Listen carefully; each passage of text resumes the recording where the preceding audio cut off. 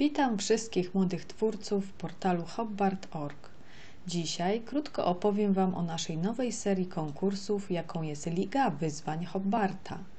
Liga będzie miała pięć edycji, a w każdej z nich nagrodzone będą trzy pierwsze miejsca.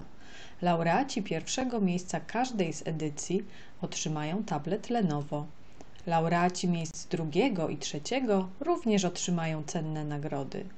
Zasady ligi są bardzo proste. Należy dodawać pracę w wybranych działach portalu i zbierać przypisane do nich punkty. Pamiętajcie tylko, że za dany dział punkty możecie zdobyć tylko raz.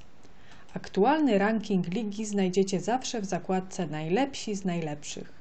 Zapraszamy do walki o nagrody.